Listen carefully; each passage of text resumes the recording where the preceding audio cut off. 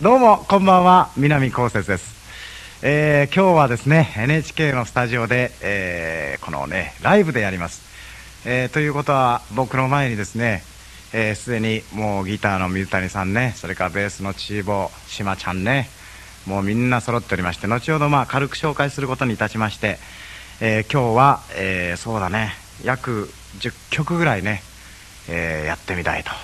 いや本当にねこれレコードじゃないからね、えー、生で生じゃないそのライブでやるということで、えー、ちょっとミュージシャンみんなでこの辺で拍手手叩いてもらえる？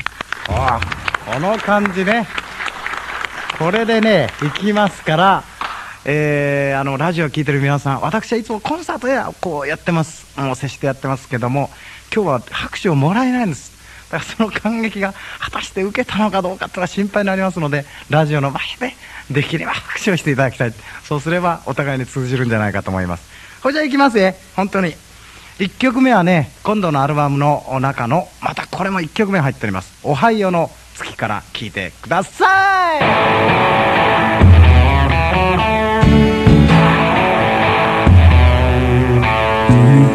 い。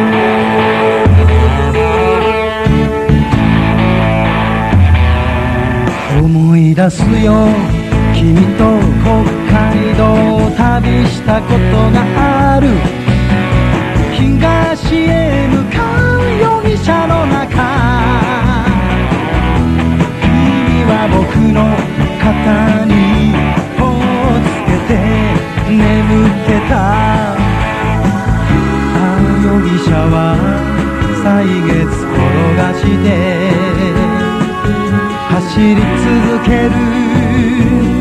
ばかりさ。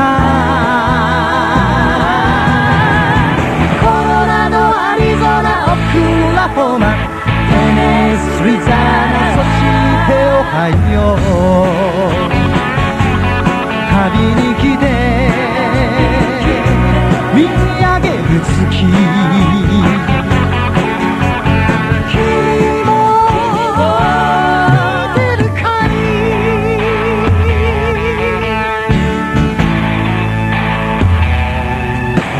れるもか。君が結婚すると話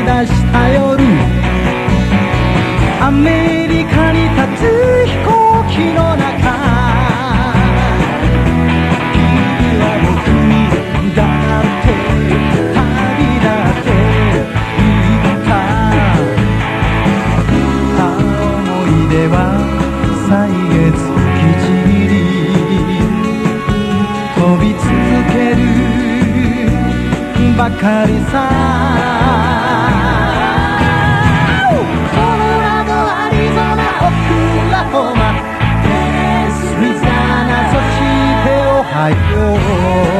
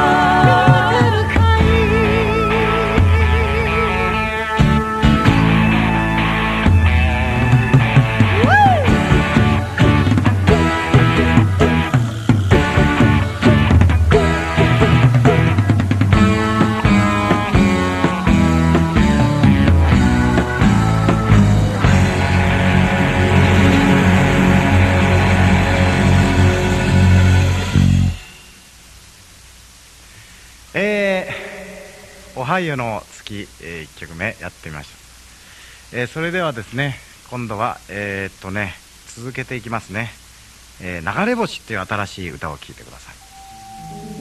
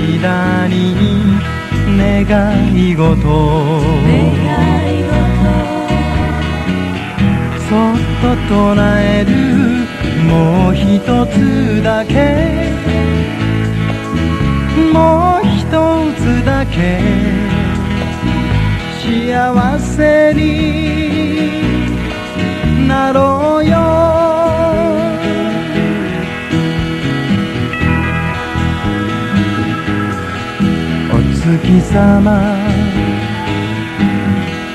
顔出せば何万キロも向こうに宇宙船飛んでく天の川。白く光って独り言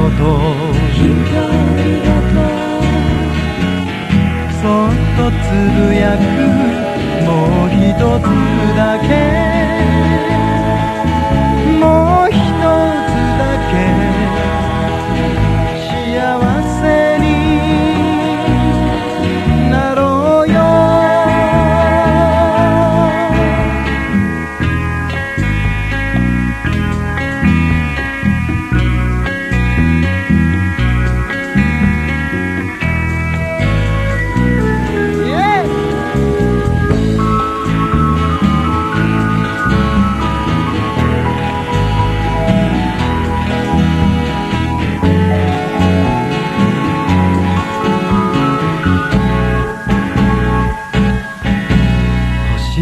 ちが瞬けば夜露に濡れてこの葉も眠る流れ星。まだ一つ流れてあなたの横顔。そっと見つめるもう一つだけもう一つだけ愛し合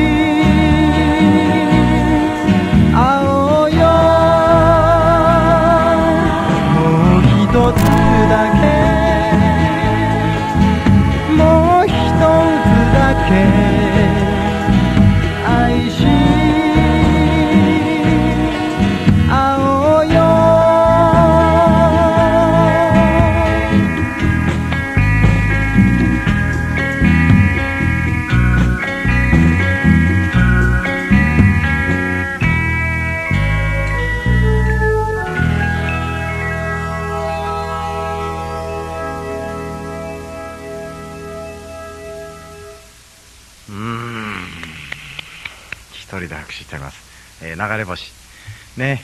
あの僕のうちは、えー、富士山の方へ越していったんですけどもその辺り行きますとまあとにかくですねこれからの時期は特にそうなんですけども星がね大きく見えますね。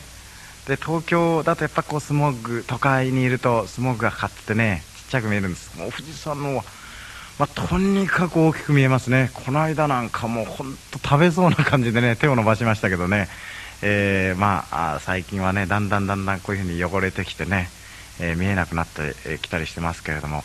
しかしまあね誰が悪いじゃなしねこれがないと食えないしね。まあいろいろ考えさせられますが、えー、流れ星でした。流れ星が流れる間にその願い事を一つ叶えるっていうまあ自分でそういう詩書いたんだけどあれ早いからね。もうパッと見つけた時にああもう愛を永遠にとか言う暇ないね。うわーさも終わりだもんね。だから僕はいつも笑うことにしてます。うわーって言うとですね大体その間にですねこういいことがあるんじゃないか。泣くよりも笑った方がいいと思っておりますけど。それではもう一曲いきますよ。もう一曲って、ま、もっとやるんだけど何でもう一曲って言ったんだろうな、えー、続けていきたいと思います。今度はですね、えー、今年かぐや姫の再結成っていうのをやりましてえー、かぐや姫ってあの竹取物語の方じゃないんですけど、えー、我々のグループを組んでまして、えー、再結成ツアーを5月にやったんですけれどもその時に「かぐや姫 Today」というアルバムですね「かぐや姫かぐや姫」というアルバムを出しましてその中から1曲歌ってみたいと思います。うん。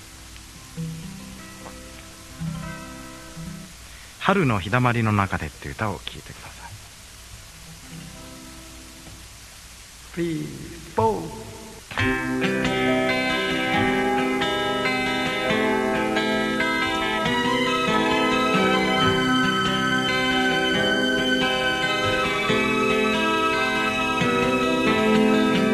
白樺の葉が熱い風に裏返り。キラキラと輝いてた夏の日。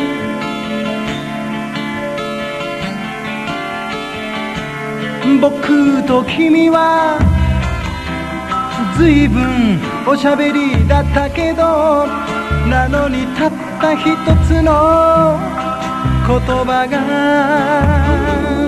言えなかった気がする。そして今春の日だまりの中で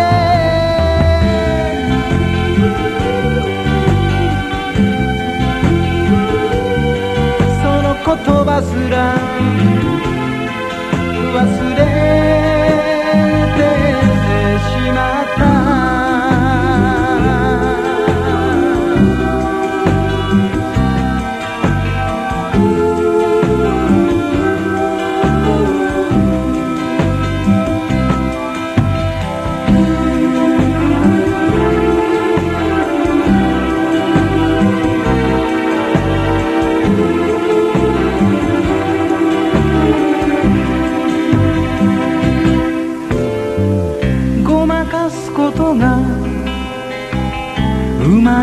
夏の記憶にカラカラと日暮らしゼミが鳴いていた。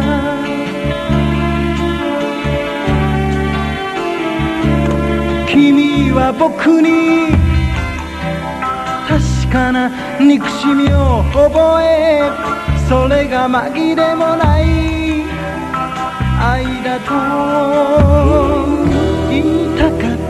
だね。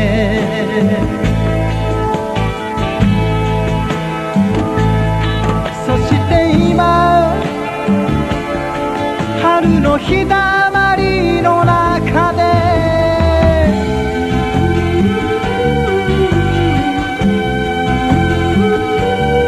ただうずくまりタバコを取り出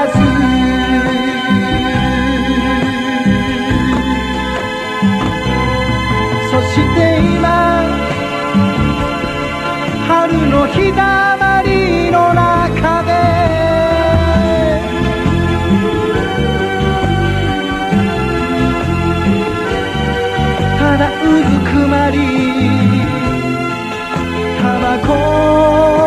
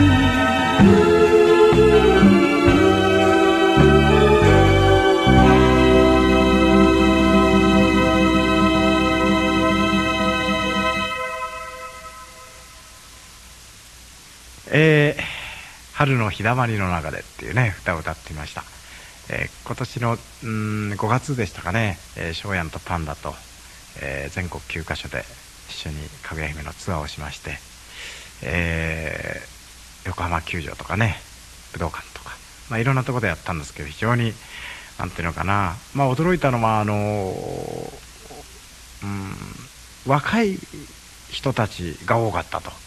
いやいやいや水谷さん。ね一緒にコンサートをかぐや姫の回りました時も。びっくりしましたけどみんな若い子はね。はかが初めてその見るっていう人たちが多かったのにはまず驚きましたね,、そうね。だから半分以上がねその高校生の人たちだったらね。うん、あれが非常にね今度そのかぐや姫のツアーをやった時にね僕は印象として残りましたね、ぱり若いっていうかもう次から次へこう世代がこう変わってるし。ね変わってますしね。で3人がそれぞれの道歩いてるでしょ、うんうん。だからそれによって、ん。ファンの人また多いかもしれないね。ああそういうのはあるかもしれないね、それとねやっぱりええ裏へ返してみるとね、うん。社会出て、うん。学校卒業して社会出てもね、うん。音楽をこう捨てないって言ったらおかしいけどコンサートなんかにどんどん来てほしいっていうのもあるね。あああるね。なかなか難しいでしょそのいやそれがね昔からやっぱそうなのね。あのあのある一人のアーティストのコンサートが流行っててね。うん。でその時はすごいまあ大学生が主流でね。それいけやれいけでさ、まあ、あの人のコンサートは大学生しか行けない。それがだんだん今度高校生が占領してくるわけですね、いやもうあいつはもう高校生じゃないとダメだよ、そうこうしたら今度中学生が占領するね。いやあいつはもう中学生の音楽だそういうふうななんかあの傾向ってあるみたいね。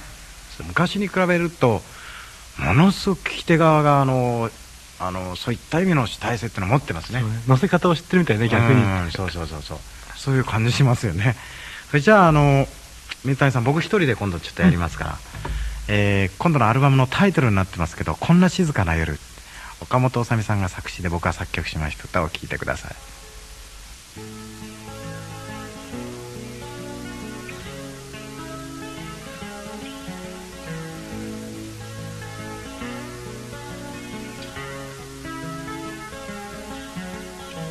夏を過ごした人たちは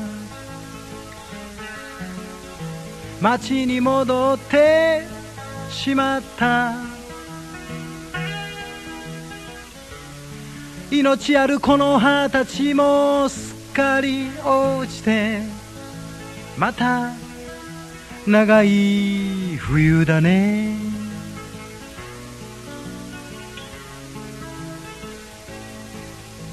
手がかじかんでしまうから暖炉のそばに座ろう。この静けさの中で僕はギターを弾き歌うだろう。愛しいお前のために。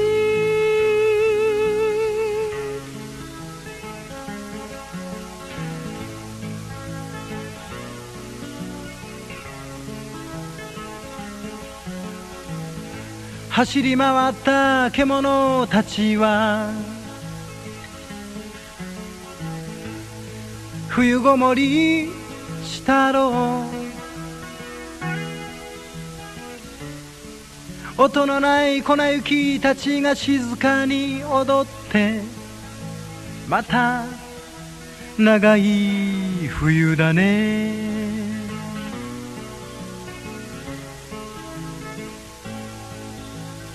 遊び疲れて眠っている。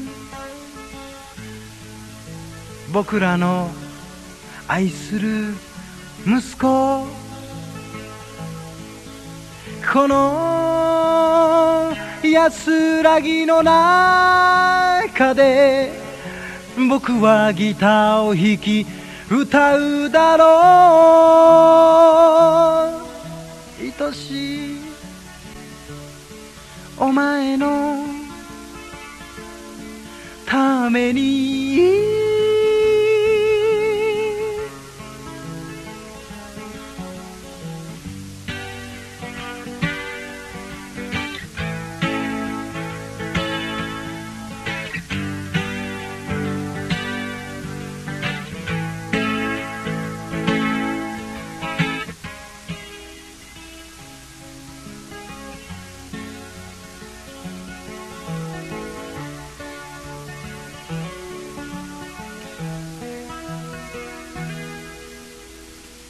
夏を過ごした人たちは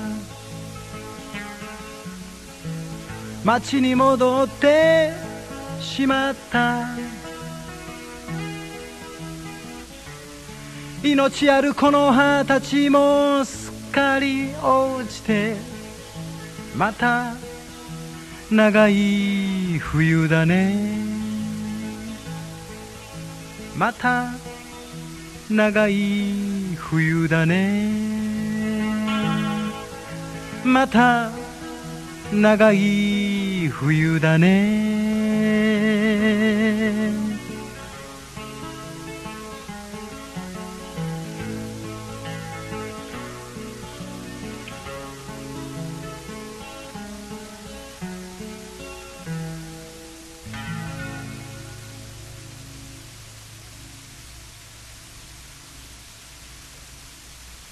と「こんな静かな夜」っていう歌を歌ってました。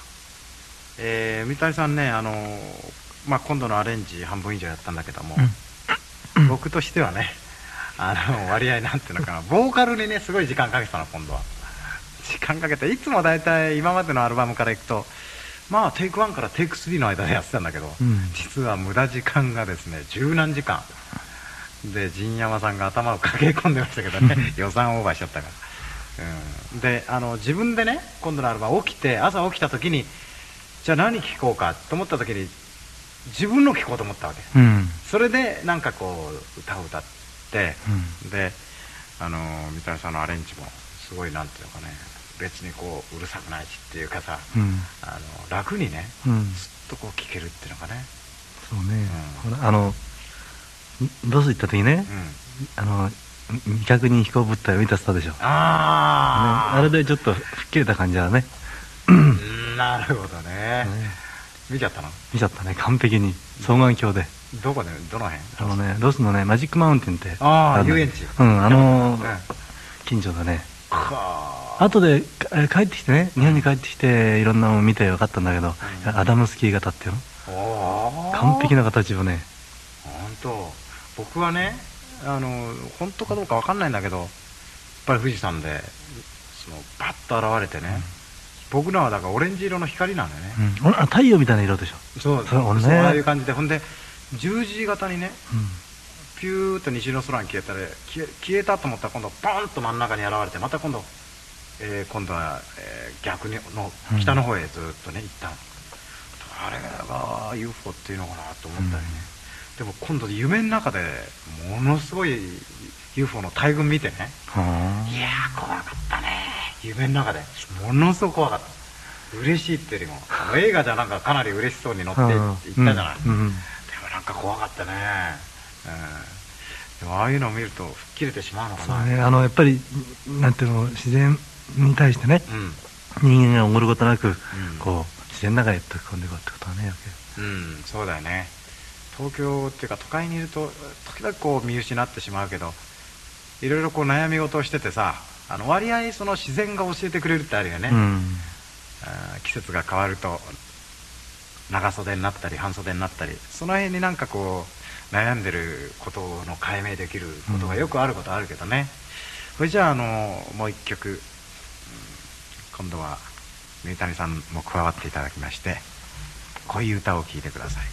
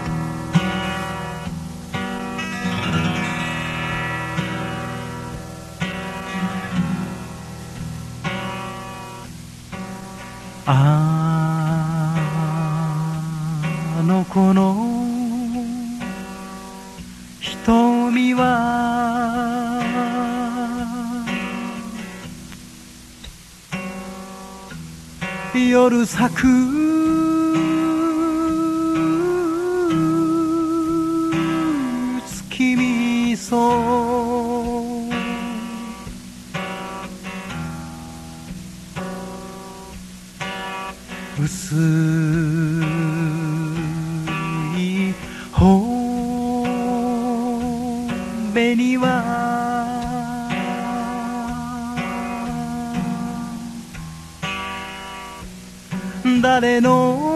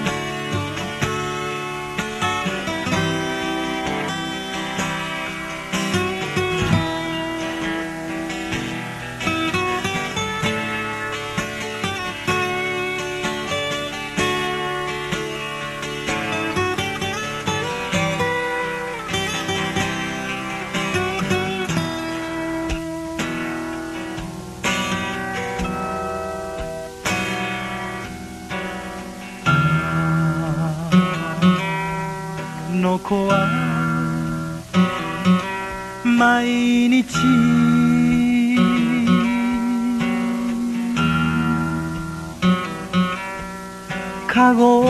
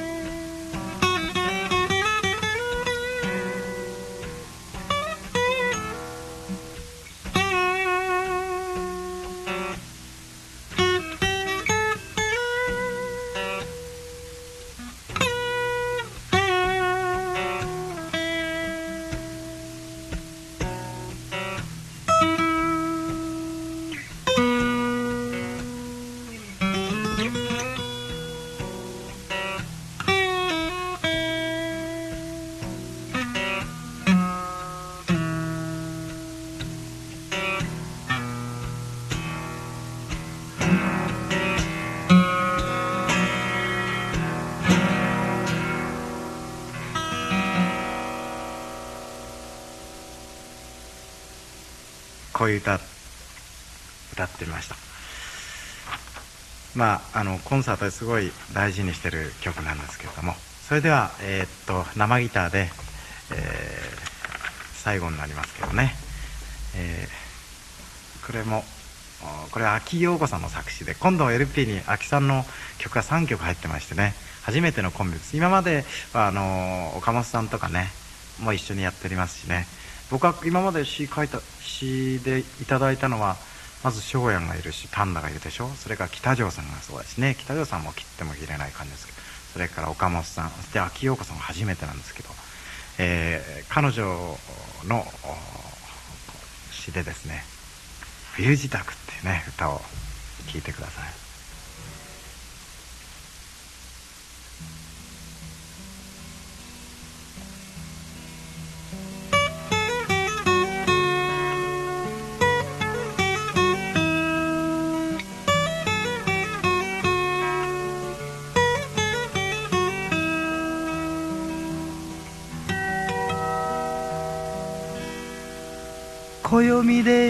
た引っ越しの日は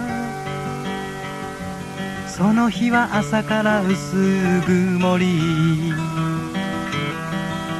残るあなたは僕の荷物にテープを貼ったり忙しそうさ。窓の外は木林が吹く風にしなってこの葉を落とす。奥にしまったストーブ出して冬支度をついでにしましょうか。あなたはポツンと僕に言う。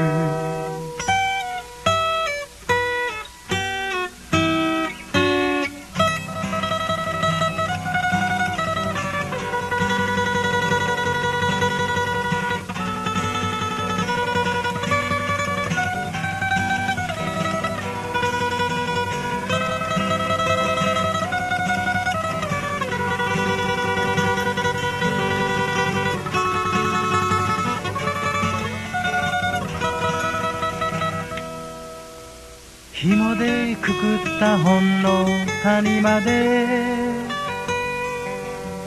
あなたと最後のお茶を飲む。伸ばした足がふと触れ合えばおかしなもんだね今は照れくさい。窓の外は雑木林の鳥たちも南へ。飛び立ってゆく。薄いカーテンかけ替えなくちゃ。冬支度の季節がまた来たと。あなたは遠い目をしてる。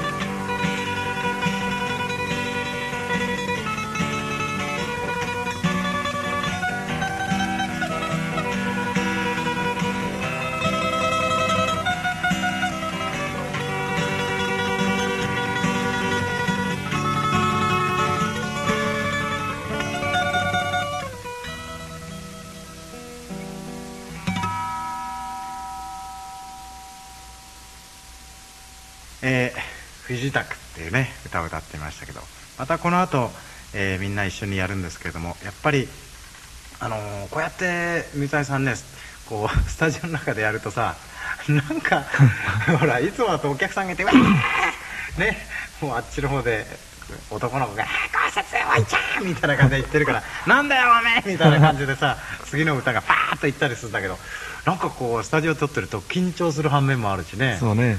うん、リアクションがパーッとないからなんか、うん。まあそれなりになんか歌に入りやすい部分もあるよね。何にも考えないでね、うん。何にも考えないで、でも生ギター編ってのも結構楽しいですよね。これやっぱりギターの持ってる。そうね、うん。日本人の一番好きなパターンかもしれパターンかもしれないね、うん。これじゃああのみんな一緒にねもう一回。ない乗りましょうかじゃやりましょうか。パッと盛りああ今度はコンサートの感じでチキチキチキチキチキという感じでいきましょう。えっ、ー、とじゃあ三谷さんギター持ち替えて、あはい OK えーと生ギターから今度はエレキに持ち替えまして。あんまりおほら音が大きいよ靴の音、えー静かに言ってくださいね。じゃああの今度はね、えー君と一緒ならこれでバーッといきますか？おいちゃん毛が生えちゃった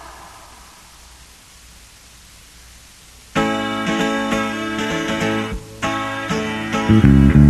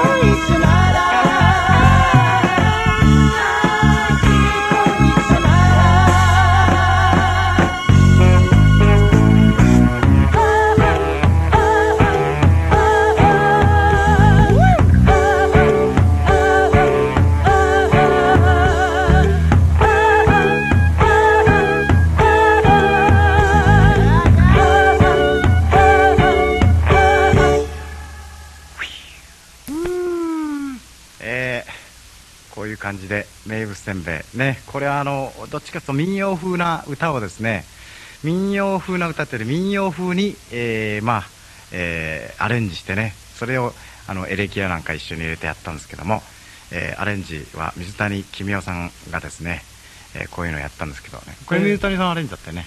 あのうんそう。そうだよね。うん。うん。あの2枚目だっけ？そう願いの中に入ってる、これ北条さんの、詩が北条さんでね、うん。面白いんです。詩がねと陽気なママさんでも囲んでこのまま朝まで騒ぐつもりでしょうってね。宮崎の夜を思い出してしまいましたけど。奥奥ちゃんの方が。え ーでもあの我々はやっぱりほらあのこういうのってわ分かるでしょそうねストレートに言ってわかるよね一番ね。あのー16の漢字もおまあ分かるんですけどでもなんとなくやっぱり我々こう日本人って言いますかね、民謡の。うん16温度16温度ってのが流れてて、うん、なんかこういうのをアレンジするときにすごい苦労するってのある？そうねやっぱりうん。詩をね、うん。大事にしながら乗ろうと。うんうんこの辺がね非常にあれしますよやっぱりね。うん、うん、でもクロスオーバーだよね。かっこいい言い方で言えば、ね。あクロスオーバーだよね、うん。でもなんか僕なんかのさ世代ってあのなんていうの？あの宴会でさ、うん。歌う歌っての割合少ないのよね。ね。でもう一つ前の人に行くとうん。一、つネタほいのがあるしさなんか軍歌は飛び出すしさいろいろあるんだけど我々の時ってなんかこうね寂しいね、そうね、うん、こうこういう歌はねそうなってくれるといいけどね、こういう歌をねうん。いっぱい歌いたいんだけどね。うん、それじゃああのあともう少しありますけれどもよろしくお願いしたいと思います、さて次でございますがその前にですねえー、と今日のこのおほほほほほはですね、えーえメンバーでございますが、えー今日はですね、えーリードギターの水谷さんですね。それから、えーベースのお武部秀明さん。それからドラムにしまちゃんね。それから、えーキーボードが、えー、牧と山田と。それに孝太郎と。なんか孝太郎元気がないね。緊張しちゃってる感じ。それから、えーコーラスにえーみっちゃんとあっちゃんとみやこちゃん。こういった感じでですね抜けてる人なんですね迫っております。しまちゃん聞こえますか？僕の声が。はい本当我々いつもこのメンバーで、えーツアーやってるんです。まだ今年残りツアーございます。やっておりますけどもやっぱりこのチームワークですね。もういくらねこの中上手い人がいてもねやっぱりこの一緒にプレーする。もう野球と同じですね。やっぱりお互いがこう助け合ったりあるいはこう励まし合ったりね上手い人のとこパーッとこう、うん。えーそのプレイヤーをですね盛り立てたりお互いのこう気持ちのやり取りがうまくいかないとなかなかできるもんじゃないです。見事に今日はねいろいろやっていただきまして残り2曲ほどなりました、えーそれでは今度はねえー今割合このヒット中と言いますかねその歌を一つ情感を込めてやってみたいと思います。情感を込めて。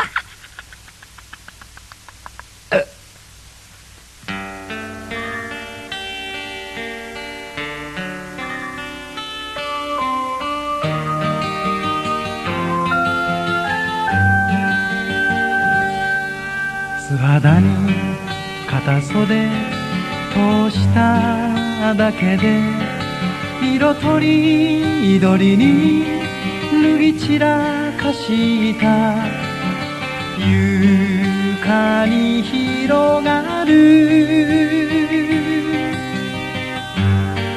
絹の海着てゆく服がまだ決まらない。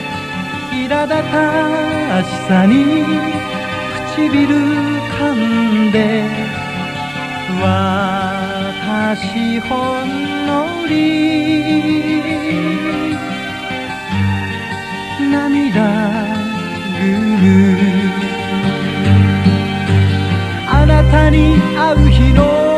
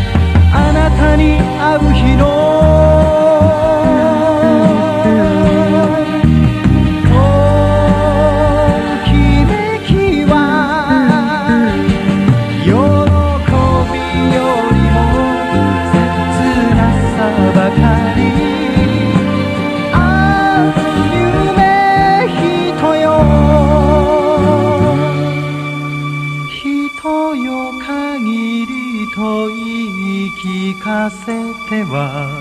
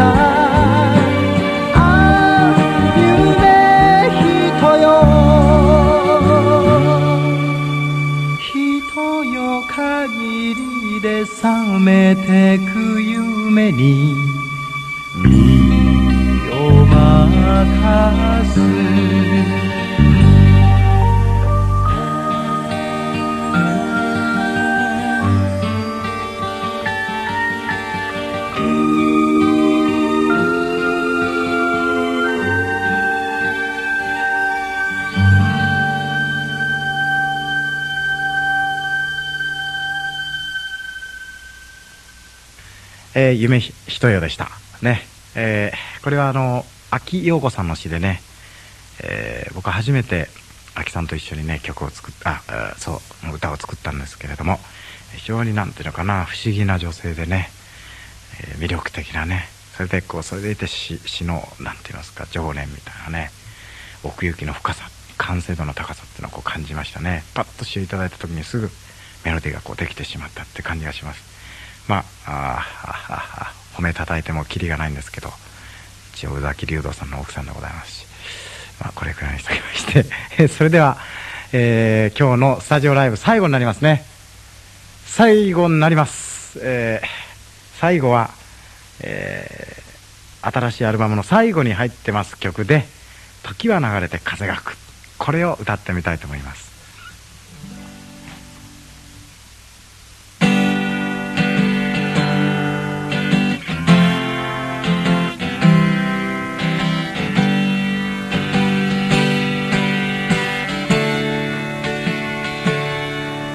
時は流れて風が吹く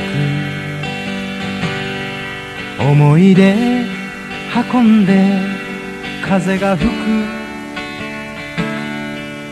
希望に燃えた青春の香りを運んで風が吹く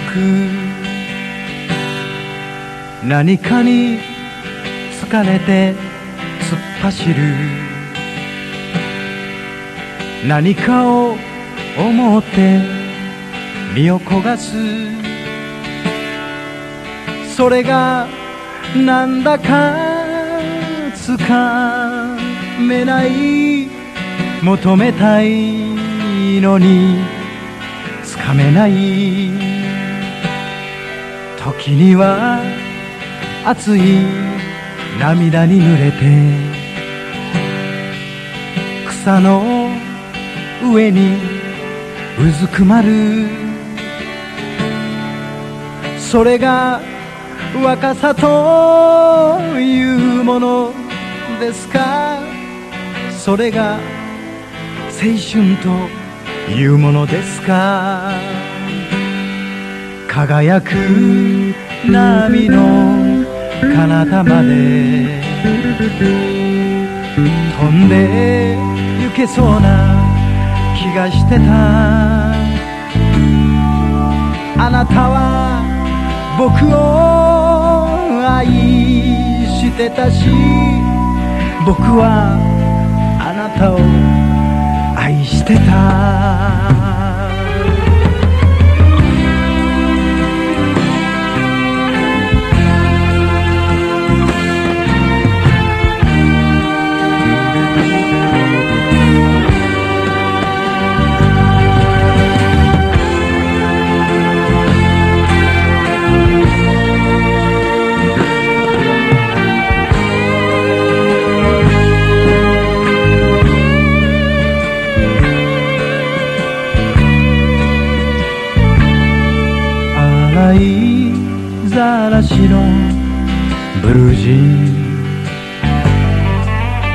ち顔の若者が